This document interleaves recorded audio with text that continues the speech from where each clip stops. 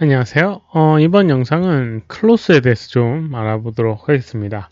메일로 클로스에 대해서 좀 물어보신 분이 계셨는데 그 질문에 대한 대답을 하면서 이것저것 알아보도록 하겠습니다. 화면에 보이는 것처럼 이렇게 클로스를 만들어서 시뮬레이션을 해줬는데요. 어, 형태 유지한 부분도 있고 주름에 관련된 그런 이슈도 있을 것 같습니다. 한번 보도록 할게요. 우선 첫 번째로 이제 그 질문 주신 분이 주름이 잘 표현이 안 된다라는 질문을 주셨습니다. 우선 컨, 그 윈도우의 컨텐츠 브라우저에 보게 되면 제너레이터의 컨텐츠 브라우저에 보게 되면 이렇게 옷을 음, 이렇게 꺼낼 수가 있습니다. 좀 작게 해주도록 할게요. 0.1 정도 사이즈로 너무 크게 되면 중력의 값이나 이런 것들에 이슈가 있기 때문에 좀 작게 해주도록 할게요. 어, 이렇게 음, 옷의 모양이 있는데요. 여기다가 한번 시뮬레이션을 표현을 한번 해보도록 하겠습니다. 근데 요거를 복사해서 옆으로 옮겨 놓고요. 하나는 원상태로 다른 하나는 다른 걸 한번 해보도록 하겠습니다. 우선 여기는 이 object에다가 cloth를 적용해 주도록 하겠고요. 그 다음에 위쪽에 있는 vertex를 선택을 해서 nConstraint에 보게 되면 이렇게 Transform Constraint이 있습니다. 그래서 고정을 시켜주는 부분이 있어요. 그래서 이제 플레이해보게 되면 이렇게 표현이 되게 됩니다. 뭔가 원하는 모양인지 모르겠네요. 네. 뭔가 자연스러운 표현이 아니라 약간 디테일도 없는 것 같고요. 여러 가지 이슈가 있습니다. 그리고 어, 질문 주신 분처럼 주름이 잘 생기지 않습니다. 그럼 주름을 생기기 위해서 어떻게 해줘야 되느냐? 우선 여기다가 한번 테스트를 해보도록 하겠습니다. 뭐 다른 설정을 떠나서 기본적인 부분입니다. 여기 있는 이 버텍스의 개수를 좀 늘려보도록 하겠습니다. polygon 메뉴에 smooth라고 하는 걸 이용해서 이렇게 버텍스의 디테일을 조금 높였습니다. 버텍스의 밀도나 이런 것들을 이 상태에서 그대로 다른 것 없이 fx 메뉴에 클로스로 만들어주고요. 그 다음 위쪽에 있는 버텍스트 선택을 해서 마찬가지로 and constraint에 transform constraint을 해줬습니다. 뭐 다른 건 없어요. 모양도 똑같고 설정도 똑 아무것도 건들지 않았습니다. 그냥 단순히 점의 개수만 다른 상태입니다. 플레이 한번 해보도록 하겠습니다. 그러면 두 개의 결과물이 확연히 다른 걸 볼 수가 있습니다. 왼쪽 같은 경우는 디테일이 그렇게 없는 상태가 되게 되고요. 오른쪽 같은 경우는 뭔가 그 주름이라든가 이런 것들이 생기게 되는 부분이 있어요. 우선 여기서 아셔야 될 게 뭐냐면 우선 주름을 표현하기 위해서는 그 모델링 자체도 어느 정도 디테일이 있어야지 주름이 표현된다는 사실을 잊지 마셔야 할 겁니다. 어, 옷 모양이라도 이제 간단하게 만들면 아주 간단하게 왼쪽처럼 만들 수 있지만 주름이나 이런 것들을 표현하고 싶다라고 하면 훨씬 디테일이 그만큼 들어가야 되는 부분입니다. 그래서 이렇게 차이가 있는데요. 그럼 여기 있는 거는 우선 지워주고요. 여기 있는 걸 계속 진행하도록 하겠습니다. 여기서 어, 주름을 좀 더 좀 더 표현해 주고 싶다라고 하면 어떻게 해줄 수 있는지 한번 보도록 하겠습니다. 이거는 자연스럽게 주름이 생기는 부분이고요. 만약에 주름을 좀 더 생기게 하고 싶다라고 하면 어떤 부분을 해줄 수 있냐면 여러 가지 설정에서 바꿀 수가 있습니다.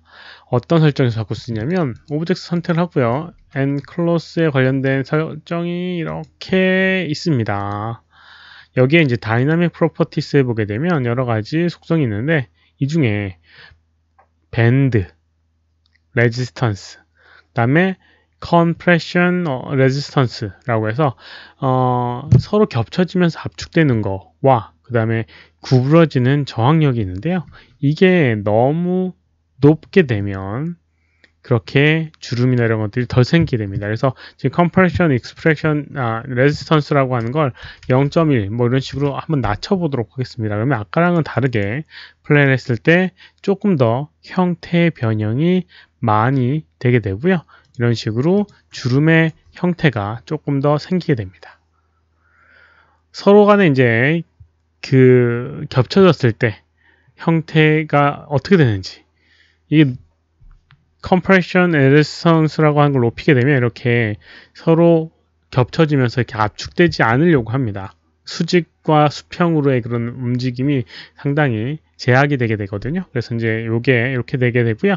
밴드 같은 경우도 비슷합니다. 밴드도 높게 되면 구부러지는 부분이 적게 되기 때문에 이런 식으로 형태를 유지하려고 합니다. 그래서 적당히 사용을 해주셔야 돼요. 그래서 이제 이렇게 음, 주름을 표현하고 싶다라고 하면 이런 방법, compression resistance라고 하는 것들 낮게 해줌으로써 조금 더뭐 압축되는 그런 부분을 줄여가지고 어, 해주는 방법도 있고요. 그 다음에 Bend Resistance라고 하는 것도 좀 더 낮춰주고 뭐 워낙에 지금 낮은 상태이긴 하지만 좀 낮춰, 낮춰주게 되면 형태 변형이 조금 더 과해지게 됩니다. 이런 식으로 표현해 줄 수도 있고요. 아니면 그 임의로 내가 원하는 위치에 주름을 만들어 줄 수도 있습니다. 그걸 한번 해보도록 할게요. object를 선택을 해주고요. 마우스 오른쪽 버튼 누르게 되면 페인트 기능이 있는데요. 페인트 해보게 되면 nCloth texture map, nCloth vertex map이라고 하는 부분이 있습니다. 말 그대로 nCloth를 texture냐 아니면 vertex를 이용해서 map을 칠해준다는 부분이고요. 각각 속성을 살펴보게 되면 이렇게 bounce부터 wrinkle까지 이렇게 여러 가지 속성들이 있는 걸 볼 수가 있습니다. 이 중에서 우선 vertex를 사용하도록 할 거고요. vertex는 어, vertex 위에다가 색깔의 그런 데이터를 입히는 방법이기 때문에 좀 더 가볍고 어, 하지만 약간 rough한 감이 없잖아 있습니다. 그래서 좀 더 디테일한 걸 원한다라고 하면 map을 이용하시는 게 좋고요. 간단하게 쓰고 싶다라고 하면 vertex map을 이용하면 됩니다. 여기에 링클이라고 해서 주름이라고 하는 속성이 있어요. 그래서 이걸 클릭해 보게 되면 화면상에 이렇게 전체가 하얀색으로 나오게 되는데 이 하얀색의 의미는 1이라는 의미가 되게 되고요. 어떤 속성이든 적용을 한다라는 의미가 되게 됩니다. 그래서 그냥 이렇게 이대로 플레이를 하게 되면 전체가 다 주름 인 상태가 돼서 이렇게 어, 이상하게 만들어지게 되는데 이 상태를 이 왼쪽에 있는 tool bar에서 마지막에 보이는 이 tool setting을 선택해 보게 되고요. 그 다음에 여기 operation replace value 값 0을 한 다음에 flood를 하게 되면 전체가 0으로 칠해지게 됩니다. 그럼 플레이 했을 때 이렇게 주름 없이 전체가 아까랑 다르, 아, 아까랑 같은 형태가 나오게 되는데요. 여기다가 주름을 한번 표현을 해보도록 하겠습니다. value 값을 1로 만들어 주고요. 그 다음에 브러쉬의 크기를 적당히 조절해서 칠해주면 됩니다. 주의하실 점은 아까 전에 얘기했다시피 이 버텍스 위치에다가 칠해줘야 됩니다. 그래서 조금 디테일이 없는 부분이긴 해요. 그래서 이렇게 적당히 주름에 이렇게 일자 형태로 칠해 보도록 할게요. 이런 식으로 칠해줍니다. 그리고 뭐좀 원한다라고 하면 스무스를 이용해서 약간 경계를 부드럽게 만들어줄 수도 있겠죠. 이런 식으로 표현을 하게 되면 중간중간에 주름을 이렇게 만들어서 표현이 되게 되는 걸 볼 수가 있습니다. 뭐 엄밀히 말하면 주름이라고 하기에는 좀 그렇지만 그 부분이 약간 튀어 올라서 표현을 해주는 부분입니다. 그래서 좀 주름같이 보이는 부분을 만들어낼 수가 있어요. 혹시라도 여기 있는 값이 너무 적거나 너무 많다라고 하면 object를 선택을 하고 그 다음에 어, dynamic properties map에 맨 마지막에 보게 되면 wrinkle map scale이라고 하는 부분이 있는데요. 만약 이걸 0.1로 하게 되면 굉장히 적은 아까보다 10분의 1 정도의 그런 주름의 표현이 되게 되고요. 너무 안 보이네요. 그 다음에 1을 하게 되면 이렇게 그리고 2로 늘릴 수도 있는데요. 그러면 두 배만큼 또 많은 변형이 있는 걸 볼 수가 있습니다. 이제 이렇게 해서 사용할 수 있는 부분도 존재하게 돼요. 아무튼 이렇게 주름을 표현을 해 줬습니다. 이렇게요. 임의로 이제 주름을 표현해 줄 수도 있어요. 우선 먼저 알아야 될 거는 어, 옷의 디테일을 살려야 된다 라는 것과 그 다음에 이런 식으로 주름을 링클이라고 하는 걸 이용해서 주름을 표현할 수 있다 라고 하는 부분 또 한 가지 질문을 주신 게 뭐였냐면 어, 다른 파트에 옷감이 있어서 그게 서로 같이 안 움직여서 컴바인을 했는데도 불구하고 제대로 표현이 안 된다라는 그런 부분이 있었습니다. 그래서 한번 요거 천을 지어보고요.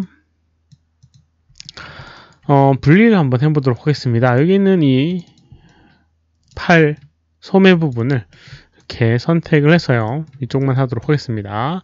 detach라는 명령을 이용해서 이렇게 끊어줍니다. detach 이렇게 끊어줘요. 그러면 이렇게 분리를 할 수가 있습니다. 그리고 detach를 한 다음에 separate라는 걸 이용하게 되면 이렇게 두 개의 object로 따로따로 되는 걸 볼 수가 있습니다. 이 상태인데 어, combine 됐다고 그러니까 여기 이거 한번 두 개를 cloth로 한번 적용해 보도록 할게요. cloth를 적용하게 되고 플레이 해보게 되면 요거 선택을 해서 어, nConstraint에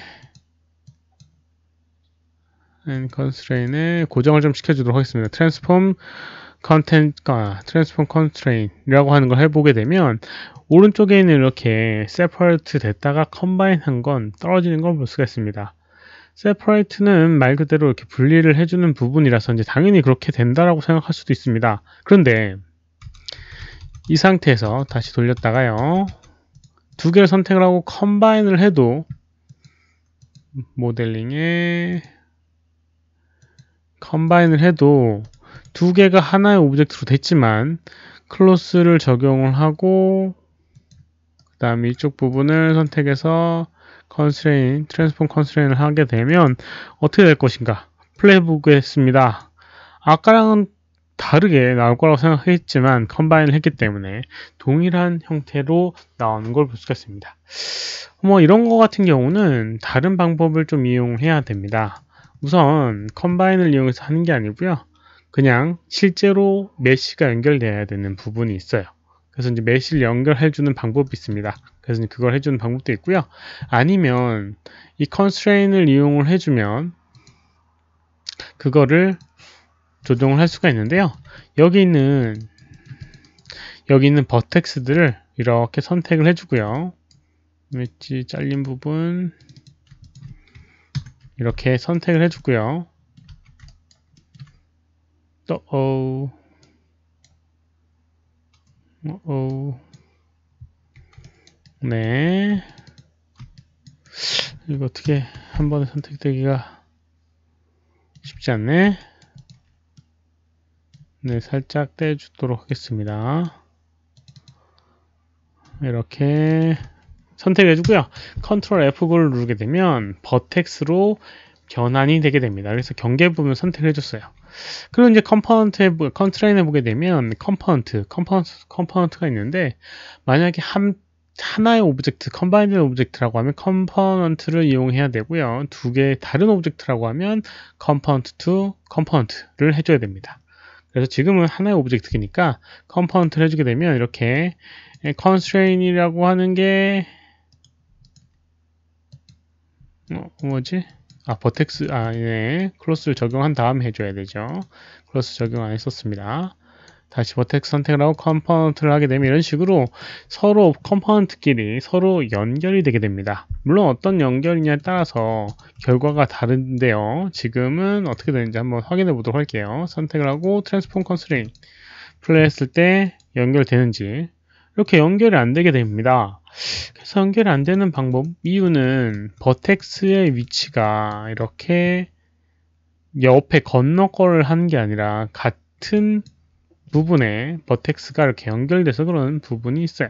그래서 이런 것들은 이 constraint의 옵션에서 여기 spring 아니면 with 뭐 여러 가지 선택을 할 수 있고요. 중요한 거는 이 connection method랍니다. 선택하고 얘들을 연결하는 방법에 대한 건데 여기 보게 되면 지금은 어, component order라고 해서 이 버텍스의 순서에 따라서 연결하게 됩니다. 그게 정확하지 않으니까요. 가까이 있는 걸 붙이고 싶다라고 하면 이렇게 어, with max distance나 아니면 이렇게 list pair라고 하는 걸 해주면 됩니다. 어, 조금 더 어, 컨트롤하기 쉽게 with max distance라고 하는 걸 하게 되면 지금 0.1 범위 안에 있는 길을 연결한다는 건데 좀 더 높여보게 되면 어, 좀 더 높여보게 되면 좀 더 다른 걸 볼 수가 있습니다. 플레이 해보게 되면 어, 네, max 뭐지?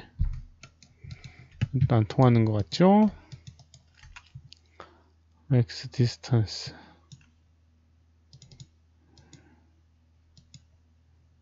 음?